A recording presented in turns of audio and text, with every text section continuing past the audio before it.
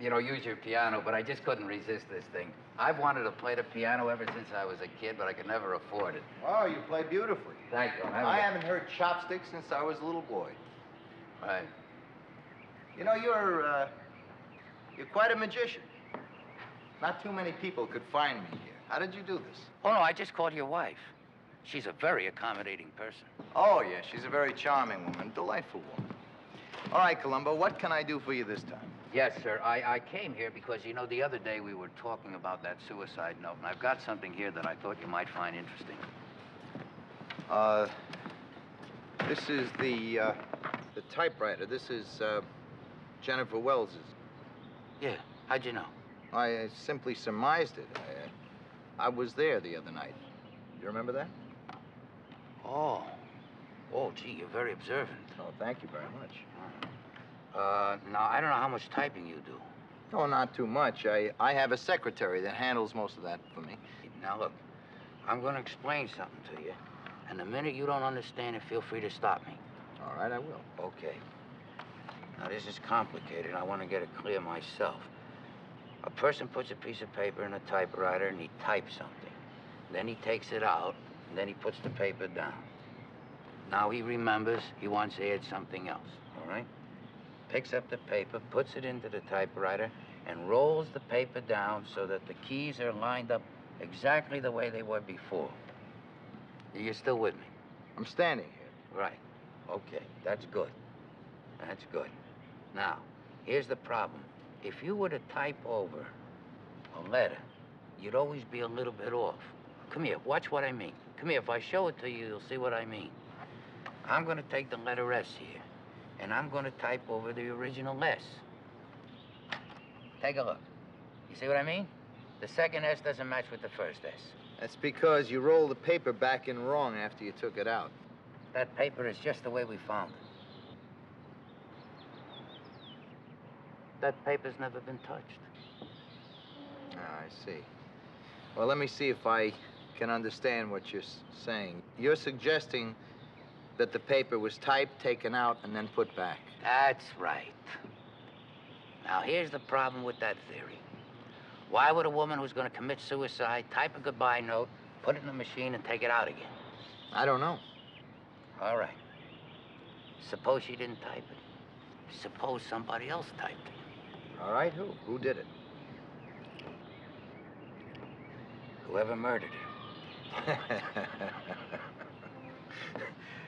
you know, Lieutenant, you're really a cocky fellow. You're very sure of this, aren't you? I think that there is a very distinct possibility of murder in this case, yes. I think there's a possibility, but I don't think it's distinct. Suppose the murderer in this case was a friend of hers. Suppose the murderer in this case was a man who had access to her house, came and went whenever he wanted to, typed up that letter beforehand when she wasn't around.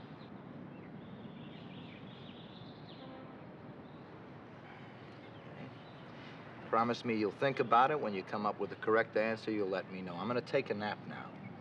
Will you excuse me? Suppose it was you. I heard you say something, but I wasn't sure what I you said, I said, suppose it was you. I'm not saying it was you, sir. No, I was just thinking out loud. You know you're an audacious fellow.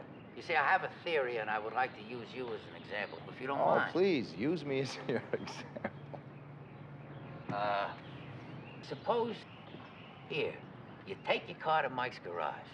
Your wife picks you up, she drives you here.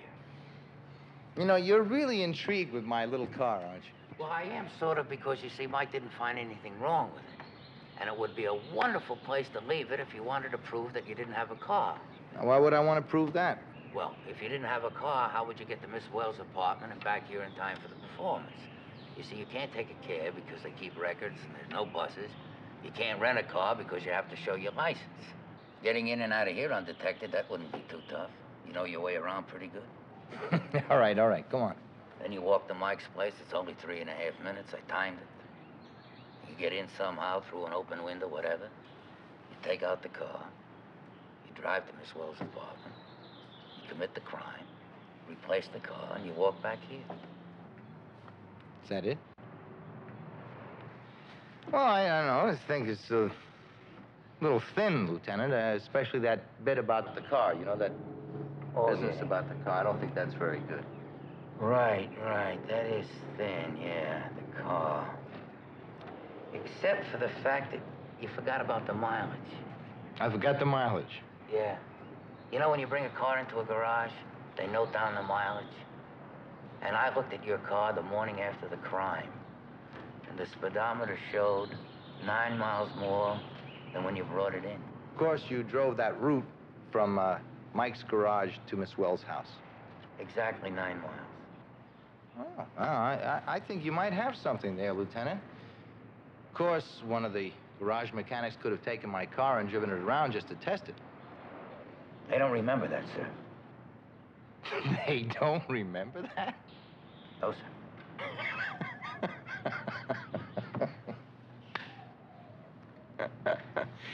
oh, I'm having a little difficulty imagining this hypothetical court case. I mean, there's no real proof. The, there's uncertain garage mechanics. No, I don't think your theory holds up too well, Lieutenant. You see, I didn't kill Jennifer Wells.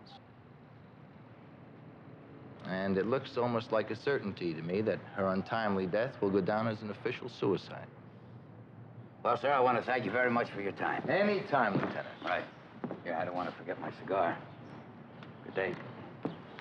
Oh, listen, just one more thing. Um, I know you don't agree, but at least I've convinced my superiors that Jennifer Wells was murdered, was not a suicide. And they've officially assigned me to the case. That's my specialty, you know. Homicide.